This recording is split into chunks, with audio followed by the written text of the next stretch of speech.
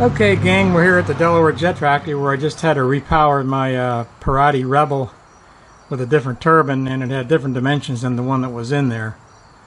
And I'm getting, uh, I'm, I'm, installing the smoke system, and I take a great pride on having a really good smoke system. So these are two commercially available smoke tubes. They're from DreamWorks. The one on the left is just a straight smoke tube. The one on the right is the super super smoker with the little L-shaped one on the end. The one on the right is the real ticket for turbines. The one on the left works really good in turboprops. I put two of those in each turboprop, one one in the left hand side and one on the right hand side. But today I want to talk about regular turbine planes. So I'll show you how I put this in to get the best smoke. Okay, here you can see the smoke tube installed right next to the turbine. And it's it's right there in the little L shape is about 35% to the way toward the center of the cone. And the outside of the cone is here. The outside vortex is hitting here, but the real heat is hitting right there. And I'm going to give you another view of this from uh, the back of the plane.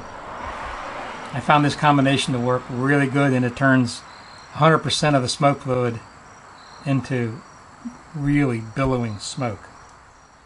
Okay, here's another look in from the uh, the aft end of the thrust tube. You can see that the smoke tube is just a little bit above and almost uh, two-thirds, 30% uh, or 40% of the way to the center of the vortex. So what happens in this position is uh, the smoke tube gets really hot, the little L bracket gets really hot, and when I turn the smoke system on, I can detect no liquid liquid fluid coming out of the back of the tailpipe, just pure billowing smoke. Nice.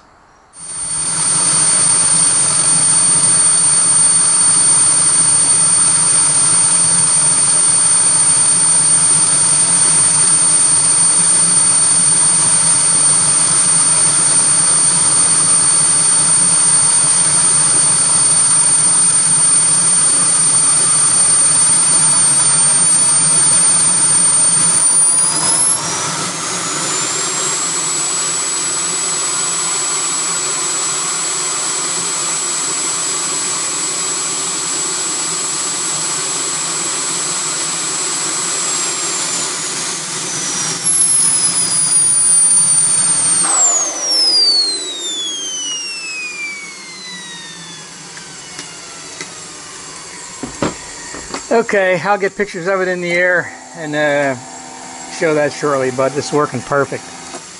There's no uh, liquid, there's no dripping uh, smoke fluid inside the thrust pipe. It all got turned to smoke. Nice. From the Delaware Jet Factory, over and out.